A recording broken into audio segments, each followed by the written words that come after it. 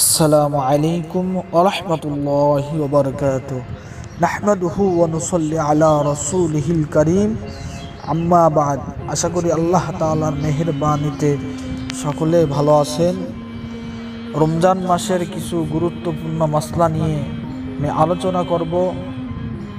রমজানের প্রত্যেক দিনে ওই দিনে রোজার নিয়ত করা জরুরি। একদিনের নিয়ত পুরো মাসের জন্য যথেষ্ট নয়। যদি কেউ রোজার নিয়ত ব্যতীত এমনিতেই সারাদিন না খেয়ে থাকে, তাহলে এটা রোজা বলে ধর্তব্য হবে না। সুবে সাদেকের পর খানা পিনা জায়েজ নেই। আজান হোক বা না হোক, লোক মুখে যে প্রচালিত রয়েছে, সে সুবে সাদেকের পরও আজান পর্যন্ত খাওয়া যায়, তা সম্পূর্ণ ভুল। রোজা অবস্থায় গোসল করিলে রোজার কোনো ক্ষতি হয় না, তবে কুলি করা সময় গড়গড়া করবে না এবং নাকে পানি দেওয়া সময় নাকের মধ্যে জোরে পানি টানবে না।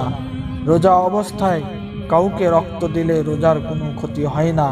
যদি রক্তদাতার শরীর দুর্বল হয়ে যাওয়ার আশঙ্কা না থাকে, রমজান মাসে দিনে বা রাতে কেউ যদি বেহুশ হয়ে যায় এবং তা যদি কয়েকদিন বা অবশিষ্ট পুরো মাস পর্যন্ত দীর্ঘস্থায়ী হয়, তাহলে প্রথম যে দিন বেউস হয়েছে, ওই দিন বাদ দিয়ে বাকি দিনগুলির রোজার কাজা করতে হবে। রমজান মাসে কেউ যদি পাগল হয়ে যায়, তাহলে তার রোজা মাফ হয়ে যায়।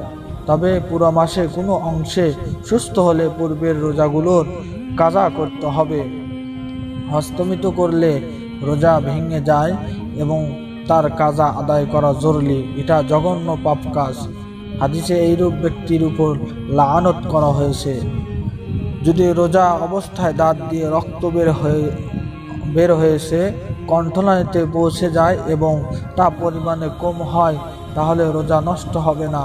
আর যদি রক্তে থুতির সমান বা থুতুর থেকে বেশি হয়, তাহলে রোজা ভেঙে যাবে এবং তার কাজা করতে হবে। বাচ্চাকে দুধ পান করালে রোজার কোনো ক্ষতি হয় না, কিন্তু নামাজ অবস্থায় দুধ পান করলে নামাজ ভেঙে যায়। আল্লাহ ফকরবুল্লা আলমিন আমাদের বোঝার মতন তৌফিক দান করুন।